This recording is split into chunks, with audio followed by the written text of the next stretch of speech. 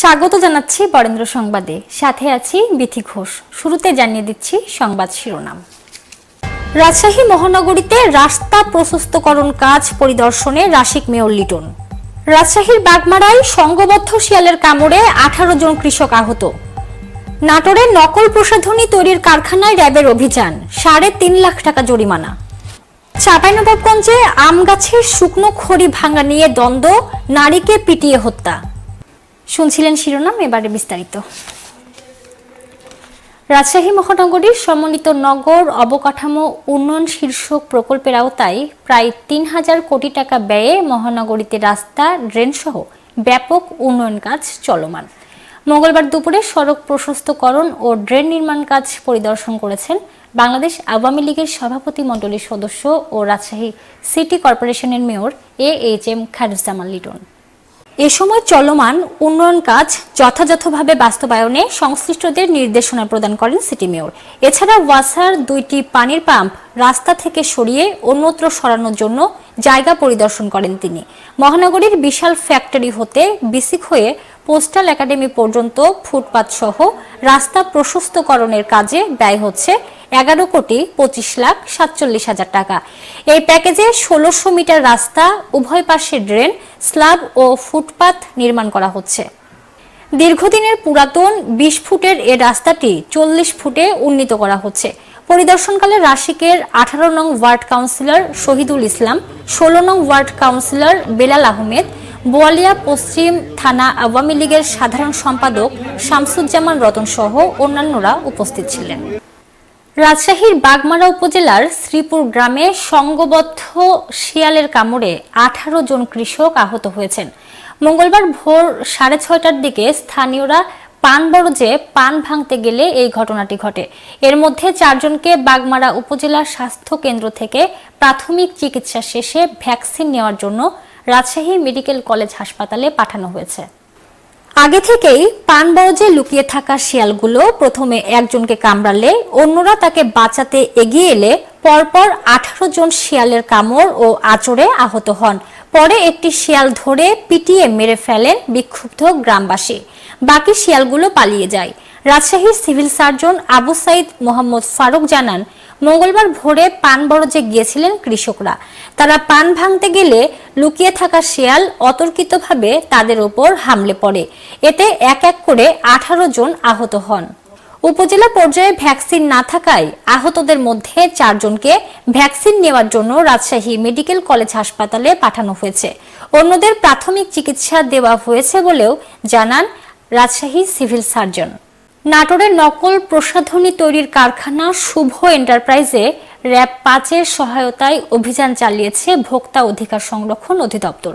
এ সময় দেশি বিদেশি বিভিন্ন ব্র্যান্ডের প্রায় বিয়াল্লিশ হাজার পিস নকল প্রসাধনী জব্দ করা হয়। এছাড়া অবৈধ প্রক্রিয়ায় নামি দামি দেশি বিদেশি বিভিন্ন ব্র্যান্ডের নকল প্রসাধনী প্রস্তুত করার দায়ে কারখানা মালিক মহিউদ্দিন কাজলকে সাড়ে তিন লাখ টাকা জরিমানা সহ কারখানাটি বন্ধ করে দেওয়া হয়। মঙ্গলবার রাত দশটা থেকে দুইটা পর্যন্ত সদর উপজেলার ফুলসর গ্রামে এই অভিযান পরিচালনা করা হয়। মহিউদ্দিন কাজল রাজশাহীর মালোপাড়া এলাকার বাসিন্দা।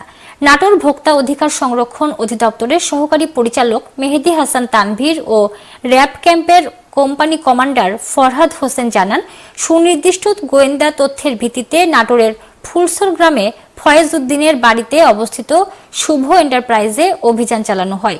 এ সময় ওই বাড়িতে নকল প্রসাধনী কারখানার সন্ধান মেলে।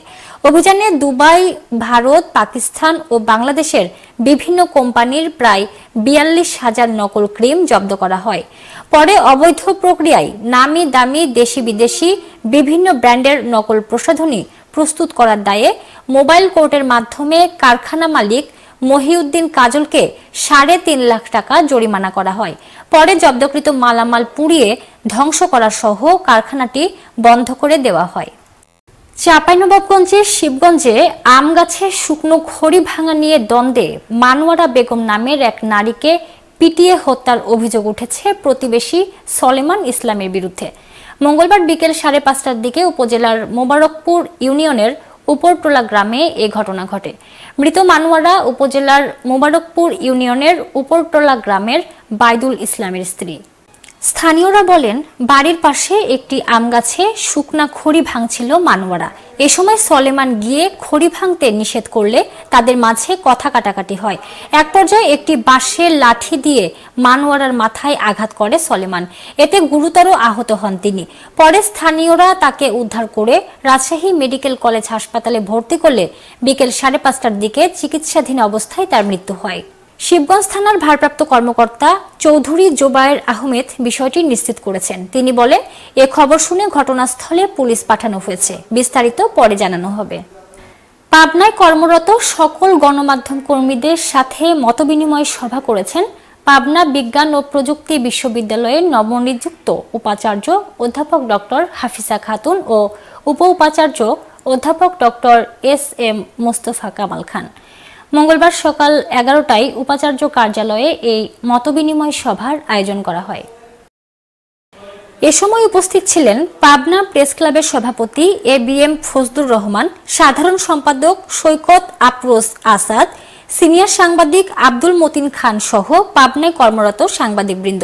পাবনা বিজ্ঞান ও প্রযুক্তি বিশ্ববিদ্যালয়ের নবনিযুক্ত উপাচার্য অধ্যাপক ডক্টর হাফিজা খাতুন এবং উপ উপাচার্য অধ্যাপক doctor S M Mostafa Kamal Khan বলেন, আপনাদের সবার সহযোগিতায় এ সরকারের উন্নয়নের একটি ধাপ হবে পাবনা বিজ্ঞান ও প্রযুক্তি বিশ্ববিদ্যালয়। নাটোরে সফুরা বেগম নামে এক নারীর মরদেহ উদ্ধার করেছে পুলিশ। মঙ্গলবার বিকেলে শহরের পৌর এলাকার ঝাউতলা মহল্লার একটি জমি থেকে মরদেহটি উদ্ধার করা হয়। নিহত সফুরা বেগম নাটোরের সিংড়া উপজেলার পারসিংড়া মান্তাপাড়ার কালাম হোসেনের স্ত্রী। তবে মৃত্যুর কোনো কারণ জানাতে পারেননি পুলিশ। নাটোর সদর থানার ভারপ্রাপ্ত কর্মকর্তা নাসিম আহমেদ ও স্থানীয়রা জানান, ঝাউতলা মহল্লার পরিত্যক্ত একটি জমির মধ্যে এক নারীকে পড়ে থাকতে দেখে পুলিশে খবর দেয় স্থানীয়রা। খবর পেয়ে পুলিশ মরদেহটি উদ্ধার করে প্রাথমিক সুরতহাল প্রতিবেদন তৈরির পর ময়নাতদন্তের জন্য নাটোর সদর হাসপাতাল মর্গে প্রেরণ করে। প্রাথমিকভাবে জানা গেছে, ওই নারী বেশ কিছুদিন ধরেই শহরে বিভিন্ন স্থানে ভিক্ষা করত। ধারণা করা হচ্ছে জমির পাশের নিচু প্রাচীর দিয়ে যাওয়ার সময় কোনোভাবে পড়ে গিয়ে তার মৃত্যু হয়েছে। ময়না তদন্ত প্রতিবেদন পেলে মৃত্যুর সঠিক কারণ জানা যাবে। রাজশাহীতে জাহানারা জামান স্মৃতি দ্বিতীয় বিভাগ ফুটবল লীগ দুই হাজার একুশ বাইশের উদ্বোধন করা হয়েছে। মঙ্গলবার বিকেলে মুক্তিযুদ্ধ স্মৃতি স্টেডিয়ামে আয়োজিত অনুষ্ঠানে প্রধান অতিথি হিসেবে উপস্থিত থেকে বেলুন ও ফেস্টুন উড়িয়ে এই টুর্নামেন্টের আনুষ্ঠানিক উদ্বোধন করেন বাংলাদেশ আওয়ামী লীগের প্রেসিডিয়াম সদস্য ও রাজশাহী সিটি কর্পোরেশনের mayor A H M Khairuzzaman Liton. টুর্নামেন্টে তিনটি গ্রুপে মোট ষোলোটি দল অংশগ্রহণ করছে। রাজশাহী জেলা ফুটবল অ্যাসোসিয়েশনের ব্যবস্থাপনায় রাজশাহী জেলা ক্রীড়া সংস্থার সহযোগিতায় উদ্বোধনী দিনে কিশোর ফুটবল একাডেমি মহান মুক্তিযুদ্ধের চেতনায় তরুণ সংঘ দলকে তিন দুই গোলে পরাজিত করে। রাজশাহী জেলা ফুটবল অ্যাসোসিয়েশনের জাহানারা জামান স্মৃতি দ্বিতীয় বিভাগ ফুটবল লীগ কমিটির চেয়ারম্যান শামসুজ্জামান রতনের সভাপতিতে আয়োজিত অনুষ্ঠানে রাজশাহী জেলা ফুটবল অ্যাসোসিয়েশনের ভারপ্রাপ্ত সভাপতি মোহাম্মদ শামীম হোসেন, মহানগর আওয়ামী লীগের যুগ্ম সাধারণ সম্পাদক মোস্তাক হোসেন ও আহসানুল হক পিন্টু সহ অন্যরা উপস্থিত ছিলেন।